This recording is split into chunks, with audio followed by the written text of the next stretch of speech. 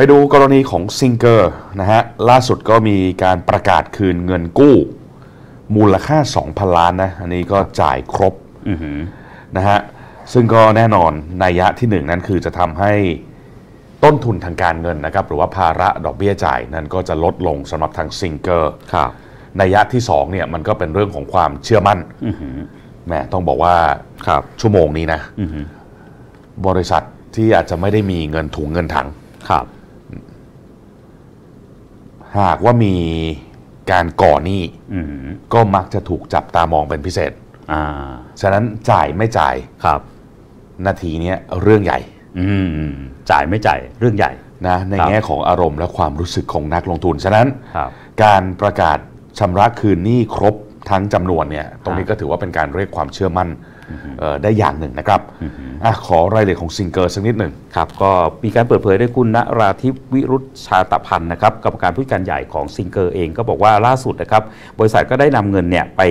อ่าชำระเงินกู้นะครับผ่านทางอ่าการออกหุ้นกู้ 2,000 ล้านบาทก่อนอันนี้นะฮะก็ชำระไปแล้ว 2,000 ล้านบาทในการชำระหนี้หุ้นกู้นะครับ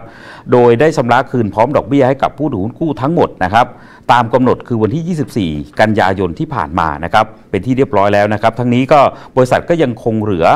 อหุ้นกู้รอบสุดท้ายที่จะครบกำหนดไตรมาสหนึ่งปี 2018 นะครับ ก็จะทำให้ภาพรวมของต้นทุนทางการเงินลดลง และความสามารถในการทำกำไรได้ดีขึ้นตามลำดับ อันนี้ในแง่ของ หนี้หุ้นกู้ อันเนี้ยล็อตเกือบเกือบสุดท้ายละ อันนี้ก็ 2,000 ล้านเสร็จสิ้นเรียบร้อยพร้อมดอกเบี้ยนะครับขณะเดียวกันในแง่ของภาพรวมนะครับ คุณนราธิปเองก็บอกว่าการดำเนินงานของกลุ่มบริษัทก็ยังมุ่งเน้นการทำธุรกิจที่เกี่ยวข้องกับบล็อกโฟนนะครับจากการปล่อยสินเชื่อโทรศัพท์มือถือผ่าน SG Finance Plus นะครับ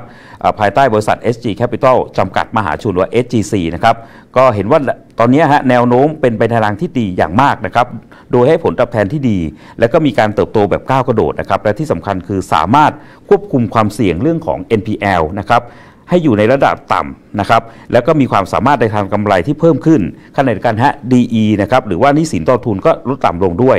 ทั้งนี้นะครับทางซิงเกอร์เองก็มุ่งมุ่งเน้นนะครับในการต่อยอดในธุรกิจสินเชื่อที่เป็นผ่านทาง SG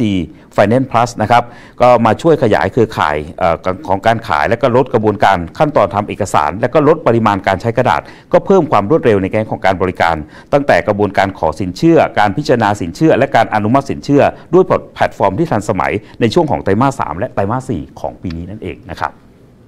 ก็ดูแล้วในส่วนของ SG Finance Plus ภายใต้โครงการ Lock Phone ก็น่าจะเป็นเรือธงลำสำคัญนะครับ ของกลุ่มธุรกิจสินเชื่อ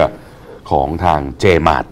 ผ่านมาถึงซิงเกอร์ครับแล้วก็ไปถึงบริษัทย่อยนั่นก็คือในส่วนของ SG Finance ครับนะขออภัย SG Capital นะฮะครับก็มีสัญญาณของการฟื้นตัวที่น่าสนใจ หลังจากที่ก่อนหน้านี้เนี่ยทั้งในแง่ของผลประกอบการแล้วก็ราคาหุ้น ก็ถือว่าปรับลดลงมาลึกมากๆนะครับครับก็น่าจะได้เห็นพัฒนาการเกิดขึ้นอย่างต่อเนื่องในช่วงหลังจากนี้อะก็น่าจับตามองครับ